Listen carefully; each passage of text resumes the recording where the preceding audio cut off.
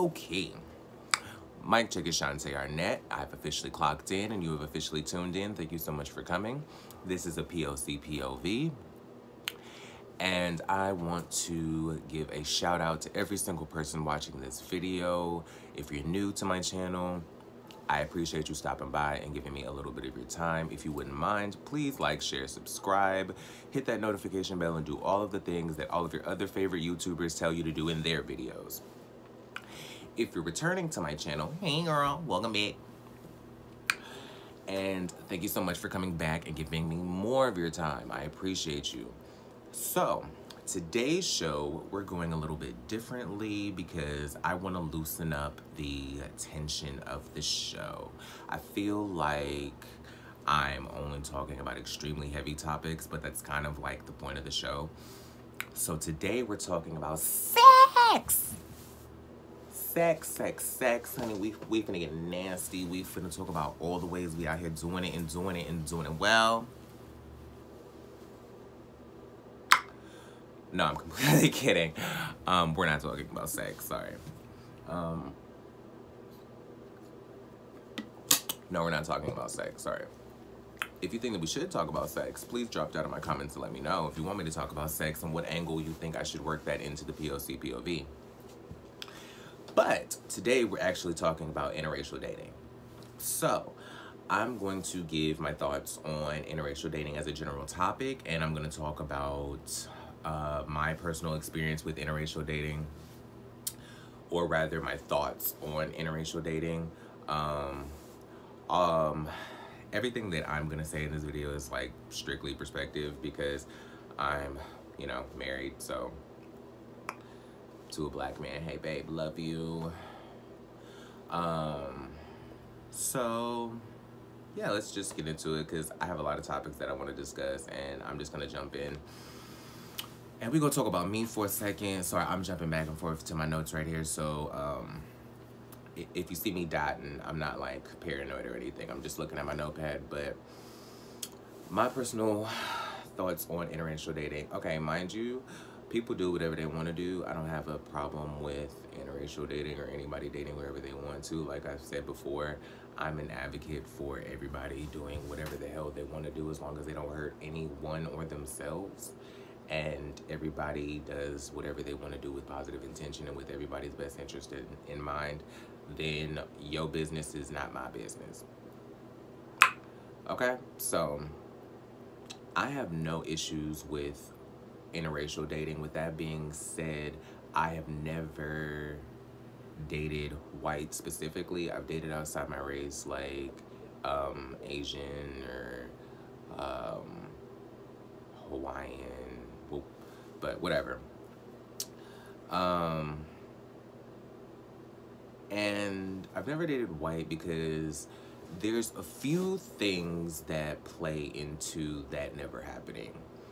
One, because I've never come across, like, I've never been in the right space at the right time where a white guy that I was attracted to, that was attracted to me, we, like, made the connection. That's never happened to me. Not that I've never been attracted, um, but I also have suffered from like internal guilt as a black person and it's caused me to never want to like cross that line. And I'm hesitant to even call it a line. Does that make sense? Because I don't have an issue with other people doing it for some reason. I have just, I don't want to say have an issue. It's just I've always been hesitant. And even though the opportunity has never presented itself, I've always had that in the back of my mind. Um, it comes from the you know, historic relationship between black people and white people and that toxic, toxic narrative that we have no choice but to acknowledge and to understand that this is where America is and this is where the relationship stands and this is the history that we are working with. So there's an automatic hesitation not just in dating, but sometimes in just approach in certain spaces, especially living in the South. There's always a hesitation of, you know, a first thought. You know, you never know who thinks what. Um, so I've always had that like internal hesitation of like I just can I just don't I don't see how as much as pro black as I am, I never thought that I would for some reason me being pro black attached an internal guilt that I didn't realize I had until I saw white people that I was attracted to while I was learning and becoming aware and more focused in my pro blackness, if that makes sense. So, um, it's like trying to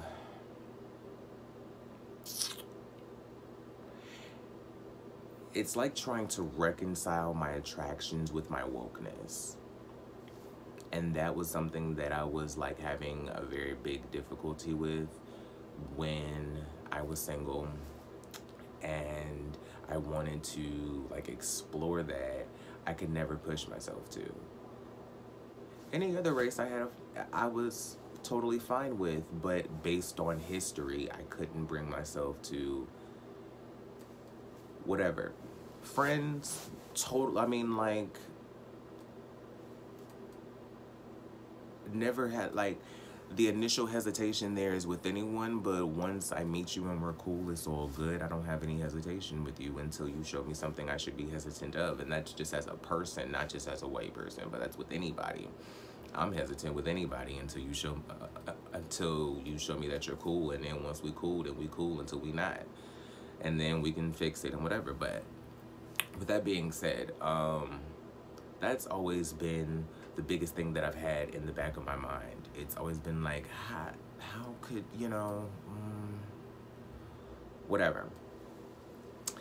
Now, another thing that I want to talk about within interracial dating is fetishism within the community because there is a thing where because of traditional stereotypes about black men and you know things like that we will become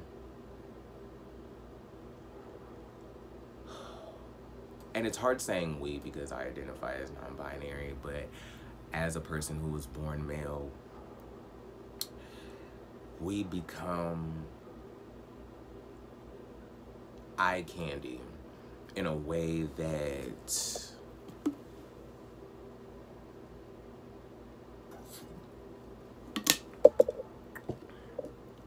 in a way that we are only looked at as sexual objects rather than people with personalities. And so that is something that actually also attaches itself to tokenism because when you're not around a lot of us, when one of us pops into a room, it's like, oh, look, look, look. Oh, oh, wait, oh, wait, oh, wait, wait, wait, wait, wait, wait, wait, wait. You know what I mean? And I'm gonna do another video on tokenism. I was just thinking about that because I uh, write down topics of things I want to do episodes on and I try to like flesh them out a little bit. And I did one on tokenism last night, so I'm gonna do an episode on tokenism soon. But yeah, that lends itself to tokenism. And I just made that connection in my mind because if you're around something all the time, I don't.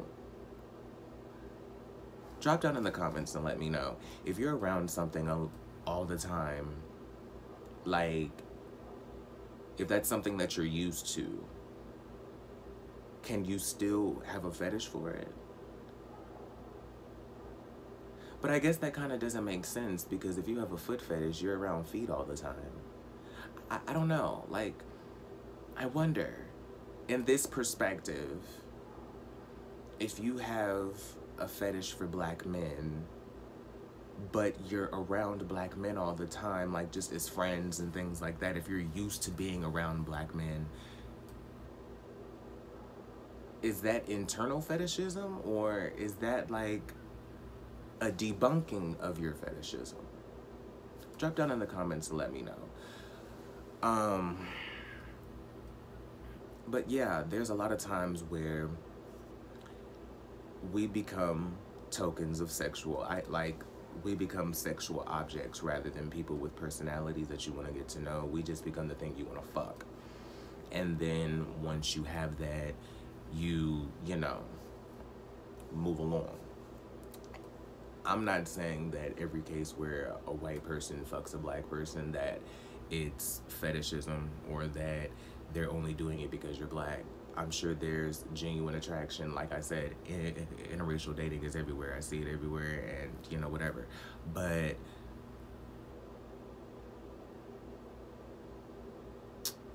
I, as someone who has experienced that type of thing happening, I'm just only addressing what I know to be a fact and not making a general statement, if that makes sense. So I don't want to say that white attraction to black white attraction to black people is based in fetishism. That's not what I'm trying to say. I'm saying that I have experienced and seen and heard of people's experiences where they were subjected to attraction purely based on sexual activity to a point where they didn't know the person's name, didn't ask the person's name, didn't care about the person's name. Queer people, look on your hookup apps. Ask, perfect example, if you're watching this video and you want an example of what I'm talking about, ask a gay person on a hookup app. You'll find out what I'm talking about. Go down a Reddit thread sometime you'll you'll you'll figure out what I'm talking about. So I want to clarify that before I move on. I'm not making a blank a, a blanket statement saying that Caucasian attraction to black people is strictly or purely based in fetishism. That's not what I'm saying. But what I'm saying is in those type of cases that sets a tone for that's that that sets a tone and it sets an awareness. And it becomes like okay. Now um i also want to talk about legendary like myths and not necessarily myths but judgments that are made against black men who prefer to date white women and black women who date white men? Or whatever gender but um, some of these some of these examples that I'm giving are in those specific gender contexts. So I don't want to put uh, men in those boxes and but whatever um for whatever gender. But the examples that but like some of the examples that I'm, I'm giving are in specific gender context.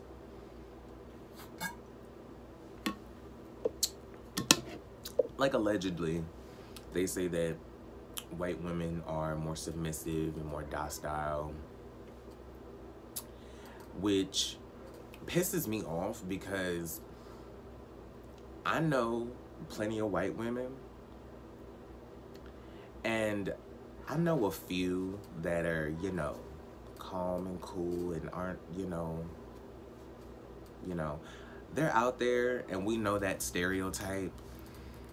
But I know plenty of white women, and more often than not, especially in today's society, white women ain't having it no more than a sister. Ooh, I said sister. That sound real 90s. Go off. But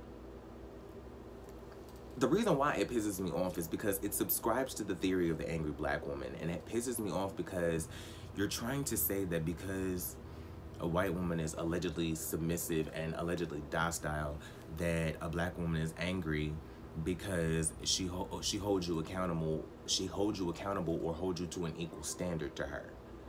Like I'm like, what is it like? Why? I need y'all drop down in my comments. Sorry, I'm forgetting I'm putting this on YouTube and I'm thinking I'm just venting to my phone.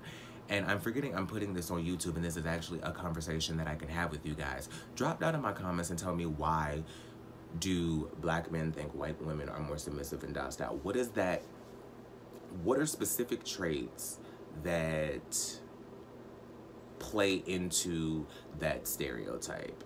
Because let Dr. Heavenly tell it on Married to Medicine. Y'all ain't got no excuse. You know what I mean?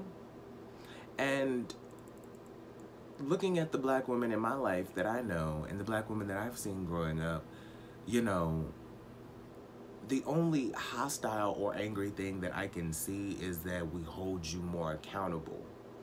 And this is where the non binary part plays in because I don't understand how black women are angry for holding black men accountable and expecting greatness. This might play into the fetishism narrative of white women because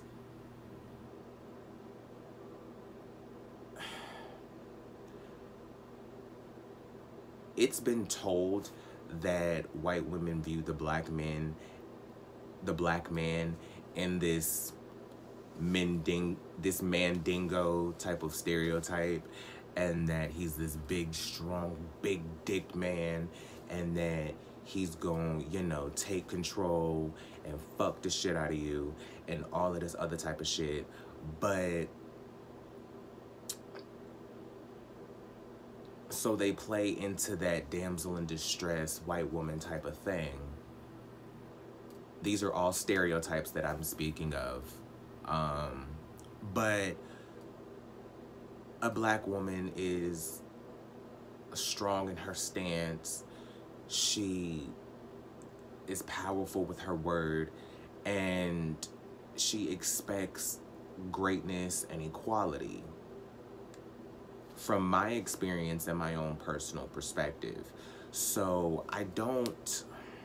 So once again, drop down in the comments and help me piece that together because my experiences are different than the stereotypes that I am well aware of, but I don't have examples to specifically play into that narrative other than like media and television and like things that are presented in a package for me to understand. So I want like real life examples of these things. So if you could drop down in the comments give me your stories, drop down in my inbox. Y'all know where my social media is, Shawntae Arnette. But I'm gonna keep going because I wanna flip to black women who have a preference to white men and the stereotypes that come around that. Um, you know, I hear this phrase a lot of times, and they say that once you go white, your credit get right. And y'all know all those stereotypes, but you know, with all the Black Wall Street, um, Instagram pages, all the black wealth, all of the buy black business, we got to start subscribing to ourselves and we can't keep subscribing to negative stereotypes that play into old narratives.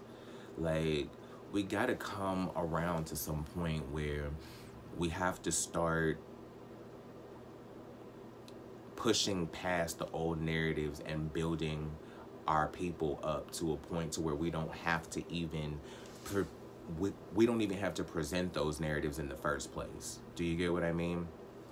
I feel like we have to get to a position where those stereotypes shouldn't play a factor in the positions that we play because we all have to get to the better place and we all have to think of the greater good and we all have to grow past that. So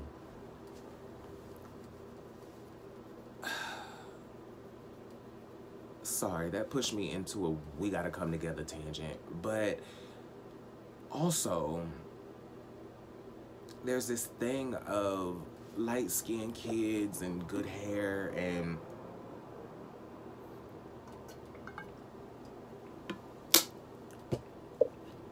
these stereotypes are very real. And I want to understand how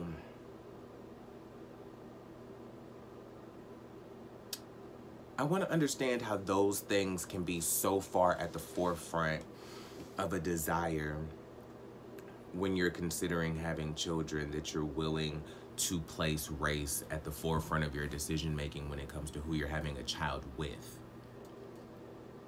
Does that make sense? Like, drop down in the comments and make me understand because I want to grab a sense of how light skin and good hair are so important when it comes to the makeup of your child that race becomes a prevalent factor in your decision making on who you decide to breed with.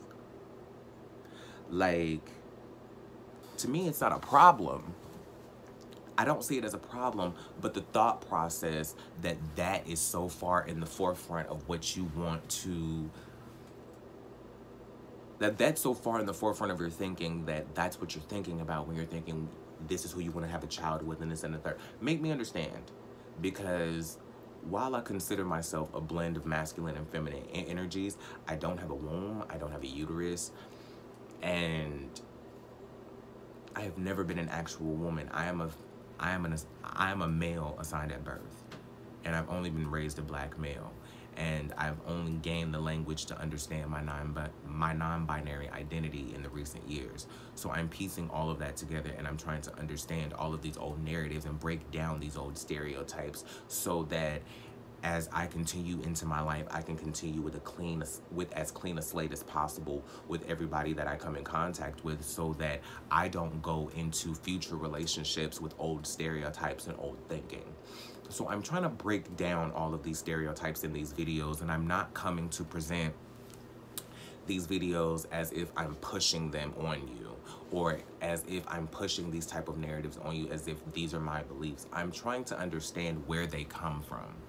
And I want people to give real world examples because I see all of the narratives that um, the media tells me or that is presented for me to understand. But I want to like talk to the people and I want to talk one on one with people who understand what I'm saying. So if you are in an interracial relationship, if you've experienced interracial dating, if you have gained an awakening by me acknowledging some of these stereotypes that come with interracial dating that I've grown up knowing about and that I've been presented with in my life, such as fetishism within the community. If you have an internal guilt about your attraction to a person of color as a white person or at, or to a white person as a person of color. If you have a story about that, let me know. If you think that white women or white people are more submissive and docile and that's why you want to date them, make me understand that in the comments. If you don't want to date black women because you think we're angry or you think they're angry, make me understand that in the comments. I want to understand all of it because I want to try to dismantle as many of these preconceived notions about our people and about the people around us as possible so that we can start to wipe the slate clean because at the end of the day we're going to have to live here together and we're going to have to unify at some point. But as a community I feel that we should come together and have the conversation so that we can unify as a community so that we can so that we can unite as a society if that makes sense. So I'm hoping that I've articulated some of the things that, oh, you know what? I'm not even gonna go deep into this comment, but I am gonna acknowledge it because I do want because I see it at the bottom of my notes. And before I get out of here, I want to make it a preference that black women have to white men is that I've heard that I've heard black women say that white men treat them better. And when I hear that, I immediately get struck with a sense of anger and irony. If that makes sense. That is like a preconceived defense that comes with the history of the white man and the black woman and the slave narrative of the white master raping the black woman and these illegitimate mixed children then being disregarded to the world because black men don't want to take in this mixed baby that has white DNA in it. And I just, uh, I'm sorry, all these old ass stories, that, that note just, sorry, it just hit me. And the irony of that, I want to dismantle because I've only seen things like this addressed in like situational comedies and not really in a serious way. So I want to have a serious conversation about it.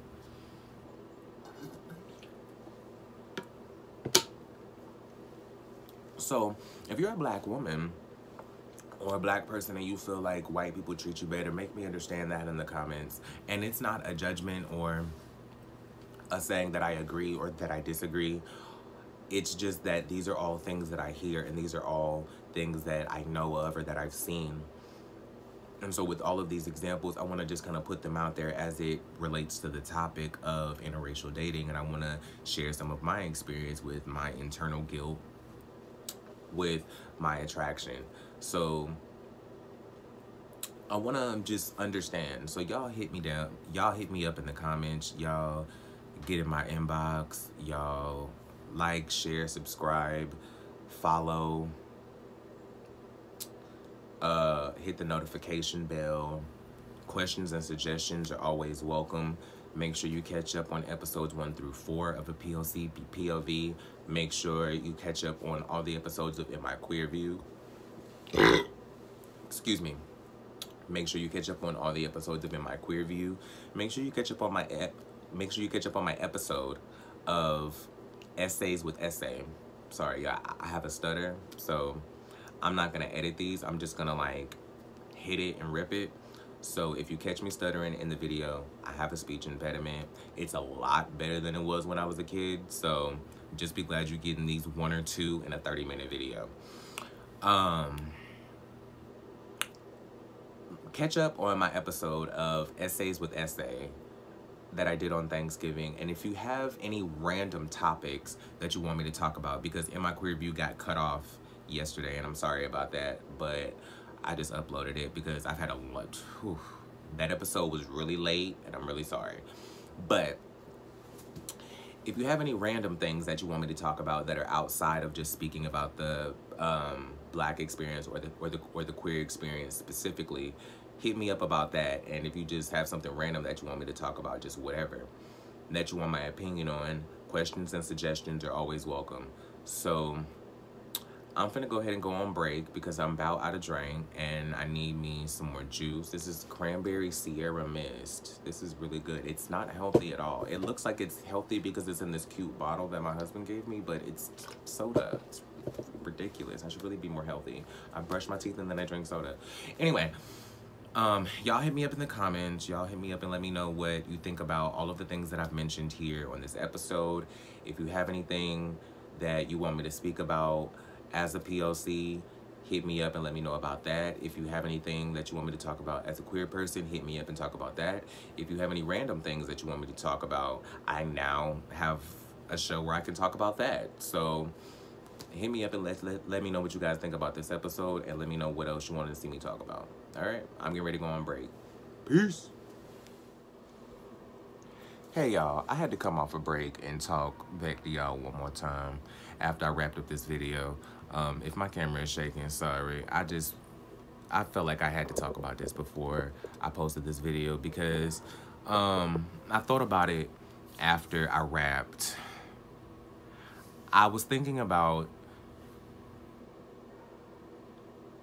the focus of this video was to talk about interracial dating just from a personal perspective but I forgot that because I was thinking about a lot of my personal feelings on interracial dating dated back to historical moments and historical times where, you know, the interaction between the races wasn't conducive.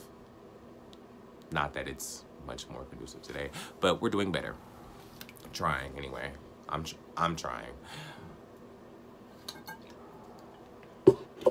But I wanted to touch on the interracial experience from another perspective because I thought about it as I was about to upload the video.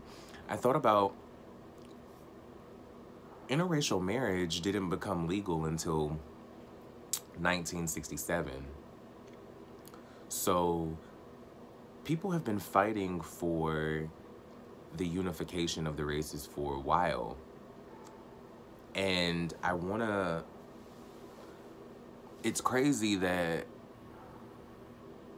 my focus in this video was mainly directed at the separation of the races in history and why I had apprehension about interracial dating in my past.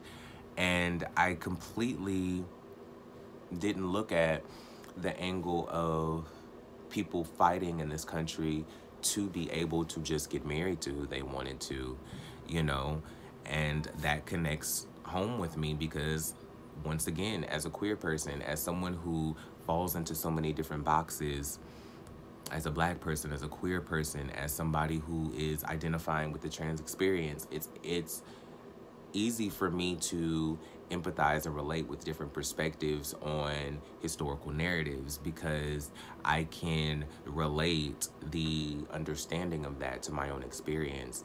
And I want to know how you guys feel about that. Like, is it not like super crazy weird that interracial marriage didn't become legal until 1967?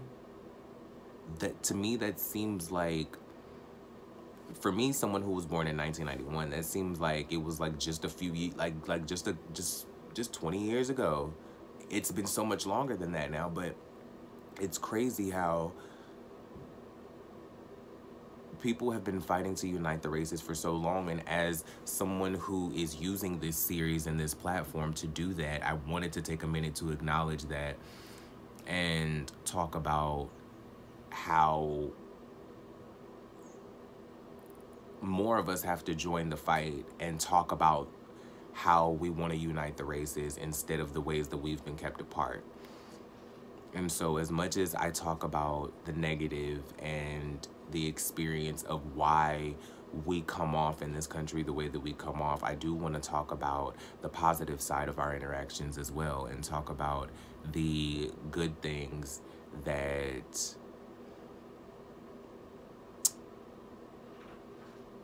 have come from our interaction, if that makes sense. So I just wanted to take a moment to talk about interracial marriage in our country and the fact that I forgot that it became legal. Like it was the one, the fact that it was illegal, but I mean, you know, you know the times. So yeah, I want you guys to think about that and tell me what you think about that. Once again, questions and suggestions are welcomed and encouraged. Please drop down in my comments. Please hit me on my inboxes. Please like, share, subscribe, follow, hit that notification bell. Once again, do everything that all your favorite YouTubers tell you to do on their channels. All right. Um, POC, POV, in my queer view, essays with essay, hit me up. Let me know what you want me to talk about. Peace.